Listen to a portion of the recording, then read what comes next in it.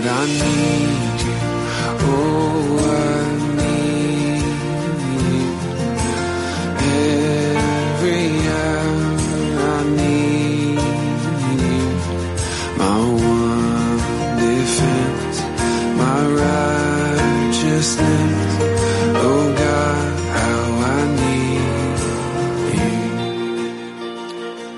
we need them, my brothers and sisters in the Lord. Welcome to Say Yes to Life, where we learn to embrace our Catholic faith in the secular world.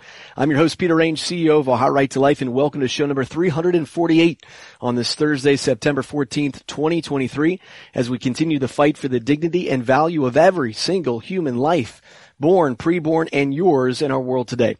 Today, folks, I am excited to welcome to the show Mr. Harold Cassidy, uh, called one of the pro-life, or rather, one of the anti-abortion movement's most successful lawyers. Mr. Cassidy has successfully litigated numerous precedent-setting cases of public importance, including the rights of pregnant mothers and their children. Through his legislative work and his courtroom litigation, Harold Cassidy introduced a completely new dynamic into the national debate on abortion. The rights and interests of the pregnancy mothers or pregnant mothers, which are destroyed and harmed by abortion. Mr. Cassidy's calling in, I believe, from New Jersey to talk about his pro-life work, the abolition of ballot initiative, and the pro-life movement as a whole in just a moment. But first, let's go ahead and talk uh, 180 seconds around Ohio and the nation to see what's happening in the pro-life movement and the news. First, you may have seen it this week, folks. The first ad from Planned Parenthood and the ACLU dropped here in the state of Ohio as they attempt to pass this extreme ballot initiative, which allows abortion through all nine months of pregnancy. And folks, I can't believe it. They invoke faith as a reason why you should support the pro-choice or pro-abortion position. Not only that, but as Catholics, they have someone in a Catholic church praying with the image of the divine mercy in the background. Folks, this is what we are up against. It is diabolical. We need your help and assistance to fight back against this. OhioLife.org slash donate or protectwomenohio.com today.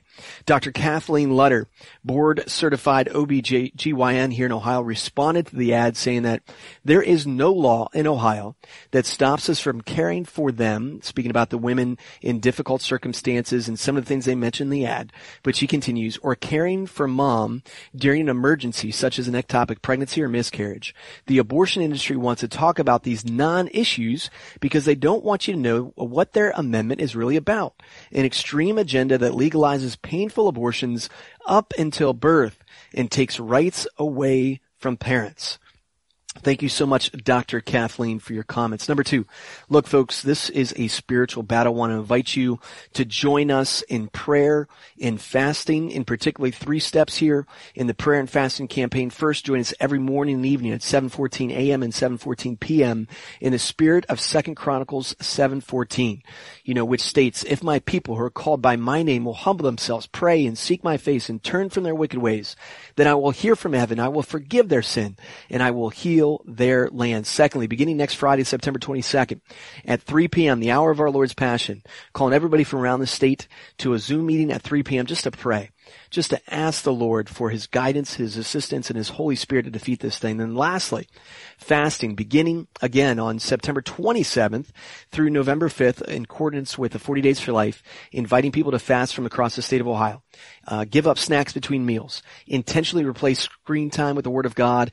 And if you're willing, I want to challenge you with me to take a daily cold shower. These small acts of mortification to offer them up in union with the cross for the salvation of souls and victory this November. Thirdly, the dinner for life, folks. It's coming up Thursday, October 5th. We're welcoming from uh, Virginia, David Bereit. He's a founder, co-founder, and formerly led the national campaign of the 40 Days for Life. It's Thursday, October 5th, uh, in Columbus with Attorney General David Yost as well, who will be speaking with us. You can find out more information at ohiolife.org slash dinner for life the next day. Then you have the March for Life on Friday, October 6th. Jeanne Mancini from the March for Life is coming out here to the state of Ohio as well. And look, folks, if you want to be engaged before then, door knocking, whatever it may be, it's createdequal.org slash issue one. That is leading our volunteer effort. Finally, folks, I just want to mention one last time. We do not win this campaign without your financial support and help. So please, anything that you give, whether it's $25, 25,000, 250,000, ohiolife.org slash donate or protectwomenohio.com. We do not win without your financial help. All right, folks, now it's time to welcome Harold Cassidy, called one of the anti-abortion movement's most successful lawyers. Mr. Cassie has successfully litigated numerous precedents set in cases of public importance, including the rights of pregnant mothers and their children. It really is an honor, Mr. Cassie, to welcome you to the show. So thanks for joining us. We really appreciate it. I wonder if we could just dive in, and I'd love just to hear your story a little bit. Kind of where did you grow up? Uh, maybe your faith journey, if you feel comfortable sharing that, and how did you end up as a lawyer, and then eventually putting what obviously is your tremendous talents uh, to work for the pro-life movement. Yes. Thanks for having me. Good afternoon. So I grew up in a family of eight children in Atlantic Highlands, New Jersey. I had five sisters, two brothers, the most wonderful family in the world. I was blessed, mm-hmm. like I won the lottery. Atlantic Highlands is in Monmouth County on the North Jersey shore. Um, we lived up on a hill in a big Victorian home. And in Atlantic Highlands, there is this uh, Mount Mitchill, which is the highest point along the Atlantic coast. So if you look out to the to the right from there, you see the ocean. You look northwest, and on a clear day, you literally see the New York skyline. Mm.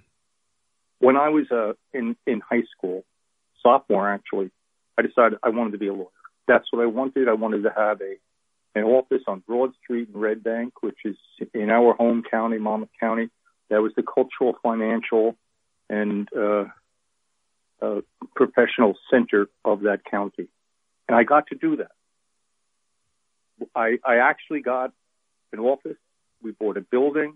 We got two, two partners. We had nine other lawyers working with us. I was on Broad Street and everything I ever wanted, I had. Hmm. We had a great, I was a civil trial attorney, certified. I tried cases. My appellate practice was dynamic. We did the medical malpractice. We did all the medical legal, the products claims, racial injustice cases, and of course, at a very early time, the birth mother rights cases. We had everything we wanted. We, we had I litigated cases that um, were public, not only public importance, but was followed by the public, and a couple of them followed around the world. There was one year where um, in the paper, our our paper in our county, which was the second largest distribution in the state, they ran 134 different stories on 134 different days about my cases and my role. Wow. I had a fireplace in my office. My father-in-law was the contractor who we doubled the size of this building with stained glass windows. I had a beautiful wife, four children, and it was a life of comfort and acclaim. It was what I dreamed of. Then one day, uh, as you know, we did medical malpractice cases, including the obstetrical malpractice. A couple comes in to me and wants me to represent them. They had given birth to a Down syndrome child. Mm. And they said if the doctor had done an amniocentesis and had told them that the child had Down syndrome, they would have had an abortion. And now they're stuck with this child, and they have to raise this child and pay for this child the rest of their life. They mm-hmm. wanted me to represent them in a malpractice case against the doctor, the obstetrician. Wow. So I I looked at the law, and I, ironically, the year before in New Jersey, this is 1989, the year before in New Jersey, the Supreme Court of New Jersey created what they call a wrongful birth cause of action. That if a child had a an anomaly, birth defect, whatever nature, and the doctor should have done an amniocentesis, they can sue the doctor for money damages for the cost of raising that child for that child's entire life. Wow. I called an expert, and the expert uh, obstetrician told me absolutely because the mother is over 35, the standard was that the doctor had to do an amniocentesis. The doctor was negligent. The, the, case, the law is clear. They had a claim. And I was forced to wonder what it would be like for me and this little girl if I stood in the well of a courtroom and argued to a jury, they had to give millions of dollars to this little girl's parents because they lost the chance to kill her. Mm. I brought them in and explained to them, and I don't remember the words I used today. I tried to be gentle, why I couldn't represent them. And they were very upset. I was recommended to them, they wanted me, etc. I gave them the names of other lawyers, and I told them these were very competent, you can consult them. And I got a phone call from one of them, and they wanted to know what's wrong with this case. There must be something wrong if we wouldn't take it. And I tried to explain to them why I couldn't take it. Mm-hmm. In that particular instance, oh, it was about three years later. About three years later, my wife and I were walking on a boardwalk. There's a, a two mile run in Long Branch near our home, and we'd walk two miles up, two miles back. And I was this is three years after the Down syndrome couple came into my office, and we're walking along. I'm on a diet, and I decide I want to buy some a custard at the custard stand. My wife pulls me away and says no. I go down. We walk all the way down. On the way back, I break away, and I race to the custard stand, and I order my custard, my ice cream. And the guy gives it to me, and I said, "How much is it?" And he says, "Nothing. Doesn't cost you anything." What are you talking about? He says, you can come here anytime and you'll never have to pay. Hmm. and I asked, I was dumbfounded. I said, what are you talking about? And then he says, don't you, don't you recognize me? And it was the father of Down syndrome child. Wow. And he tells me that they kept thinking about what I had said to them. And he tells me, my wife and I thank God every day for the little girl that he gave us. But shortly after that couple came in, and I was forced to ask the question, how did the law become so cruel? It, sh- it was obvious it all led back to Roe v. Wade. And I looked at Roe v. Wade and what was obviously judicial malpractice. However, there were some personal events, some events that were personal and even miraculous that made it clear to me that I was called to do this work. Hmm. But I didn't want to. It was totally incompatible with my practice. We lived 50 miles from ground zero of the abortion culture. But I started to do some malpractice, I mean, some you know, malpractice abortion cases. And while I was doing my regular work, and it started being reported in the paper that I was doing this work, it became clear that I had to give up my practice if I was going to do the abortion work. Hmm. And it was agonizing. I had to give up everything I wanted to do it. So I decided I would leave. I signed over my 50% interest in the office building to my partners. I left my practice behind. And a friend of mine out in the horse country in Holmdel, New Jersey, gave me space in his basement. I had no idea how I was going to support my four children. I scared my wife to death. we had three children in college and law school and one ready to go to college. And so we, I moved into a basement. My office was 10 by 10, 10 feet by 10 feet, concrete walls, no windows, six, ceiling was six and a half foot off the floor. And my wife set up her desk in the boiler. Hmm. and that's how we started. Wow. Wow.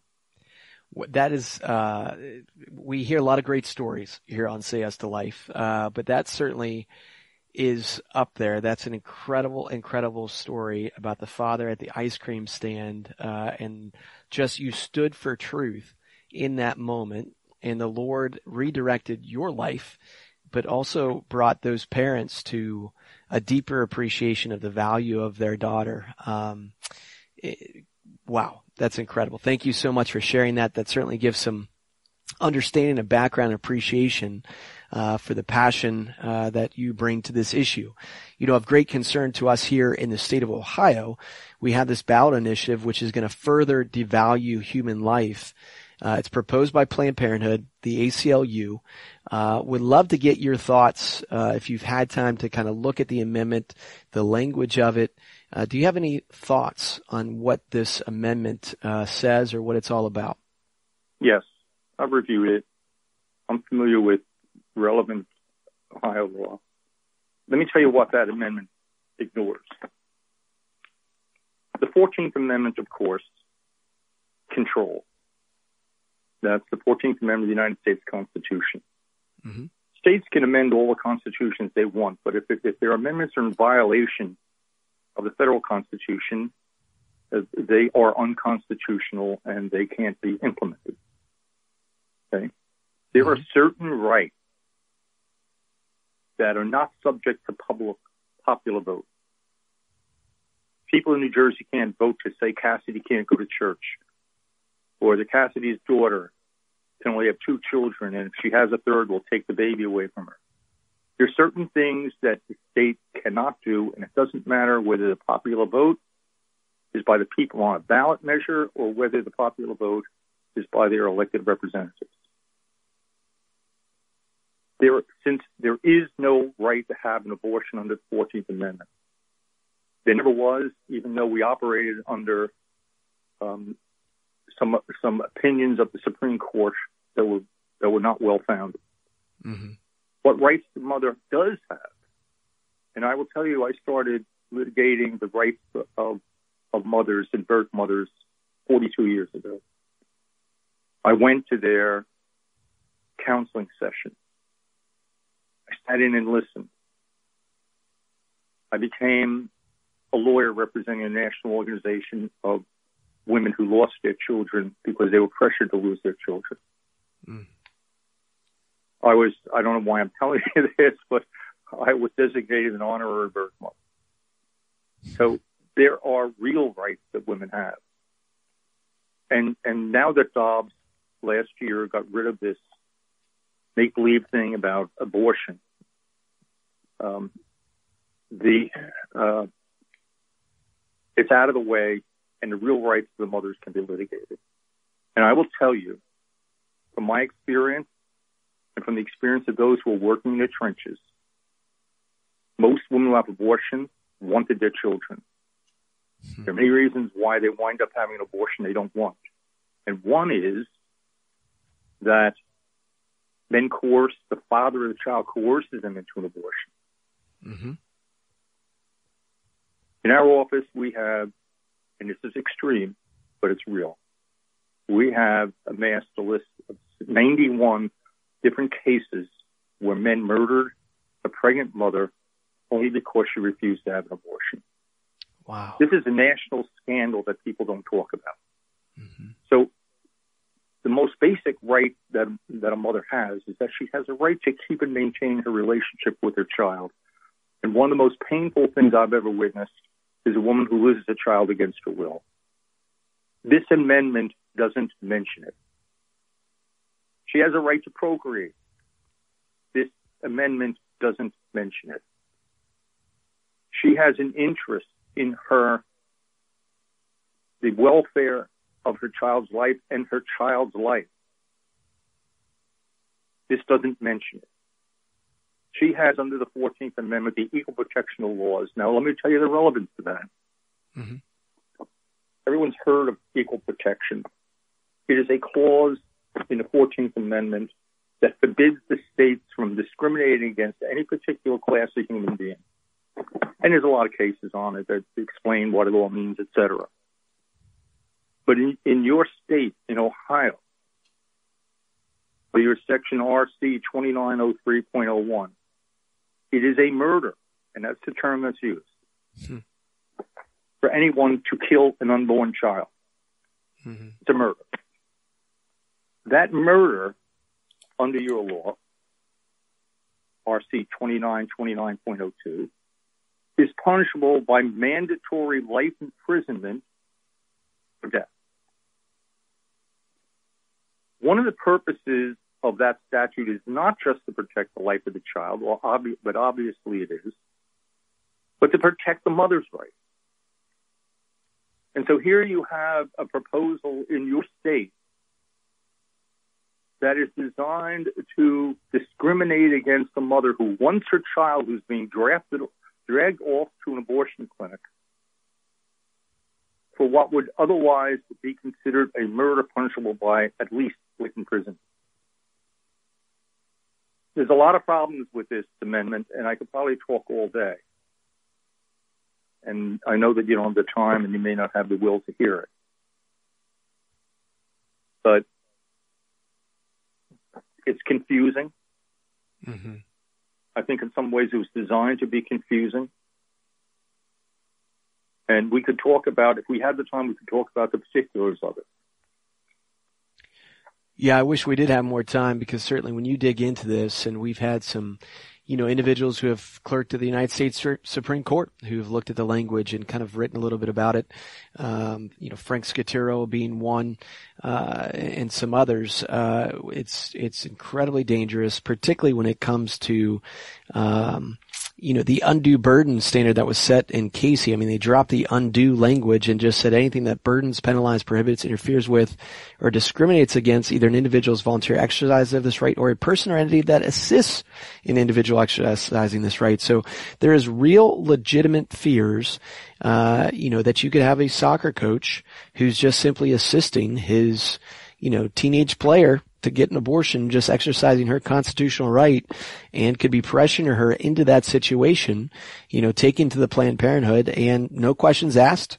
She could get that abortion and they walk out and that's it. So there's so many dangers we could unpack here, but I did want to get to, you know, one more topic with you, Mr. Cassidy. Um, just the work that you're engaged in now. Um, and along with that, and you know, you may or may not be able to share um, much about it based upon uh, how much um, you can share publicly. But where do you think the pro-life movement also needs to look moving forward uh, to focus on, if you will, to bring about a culture of life? There's many different groups focused on many different things.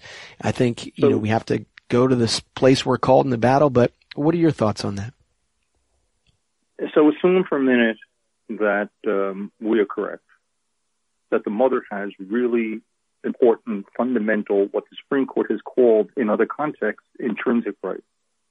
Assume for the minute that every human being is entitled to the protection, legal protection of the laws. Okay. That requires us to protect those rights of both a mother and a child. And it's not going to happen successfully going state by state. That will not happen Hmm. There will be no constitutional amendment. It doesn't need to be one. The Constitution actually is clear. But there won't be there won't be a constitutional amendment on the national level because I don't have to belabor it, but two thirds of the Senate, two thirds of the House, and, and 38 states to ratify. Yeah.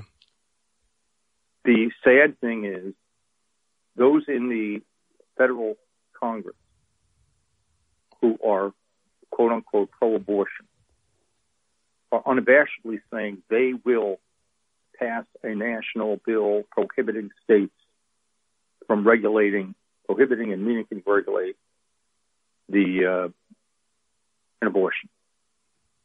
Those who mm-hmm. claim to be pro-life in Congress are running away from the issue, and not one of them will say that they would do such a thing. Yeah the likelihood there'll be any legislation coming out of there very soon uh, seems to be very, very remote. Mm-hmm. That brings us to what we're doing. We're going on the offensive. We're bringing litigation to challenge the constitutionality of blue state abortion laws that violate the mother's rights. Child's right will come at some point. They've never been done before. What we're planning is the first of its kind. I won't be able to go into any detail on it. Um, we are working on building a record, and uh, when the day comes, I I think you know people will be aware of it, and the real rights of the mothers will be defended, and the rights of the children will be defended. I hope I answered your question. Yeah, well, I just want to praise God that, you know, there's individuals like yourself that uh, are not giving up. You're working different angles, maybe angles that people haven't thought about before to attack this thing because we can't give up. And I know it can be disheartening in the pro-life movement. Sometimes we lose uh, just hope at times. And so we have to continue to get back up again and just, you know, continue, continue fighting because the lives of the preborn are, are at risk. We only got about two minutes left in the show. Yep. Uh, I, I, I would, Yep. wouldn't mind just kind of reflecting if we could, because you've been engaged in the pro-life movement for, for many, many years. Um, what are your thoughts on how we got here in the first place? You know, we're even debating whether or not a baby should be ripped apart in its mother's womb up through eight, nine months. My Well, goodness. I mean, was yeah. well, there was a lot of deception. There were lies. There were ideologues in New York. Dr. Bernie Nathanson admitted that they lied about just about everything. Mhm. But I wanted to, I want to respond to something that you mentioned Mhm. about giving up. Uh, In year 2020, that's only three and a half years ago in January, I was addressing a pro-life group and I said Roe v. Wade is holding that there is a right to abortion will be overturned within the next five years. Hmm. There was a room full of pro-life leaders and not one of them believed it. they didn't believe it. In the year 20, 2002, Norma McCorvey, that's Doe, Roe of Roe v. Wade, Mhm. Sandra Cano, Doe of Doe v. Bolton, were filed friendly court briefs in one of my cases in the Third Circuit, and we had a press conference, and there was a show up in front of the Liberty Bell, and before they walked their brief over into the courthouse. And Norma was pictured. This is this is uh, Roe of Roe v. Wade, holding a sign that says it's inevitable. And under it is a picture of a woman holding a newspaper with a headline that says Roe overturned. and so you had 20 years before Dobbs, the plaintiff in Roe v. Wade predicting it was inevitable, that that decision was so bad that it would be overturned. Mm. I'm going to be bold enough to tell you that it is inevitable that this is going to be rectified and abortion killing, deliberately killing a human being, abortion destroying the rights of their mothers will not stand. Mr. Cassidy, thank you so much. It is inevitable. Life does indeed triumph. Thank you so much, uh, sir, for your legacy of work in the pro-life movement. Keep up the good fight. And again, thank you so much for joining us today on Say Yes to Life. Well, thank you very much. Absolutely. God bless everybody. Can't wait to talk to you next week. Keep up the good fight. It is inevitable.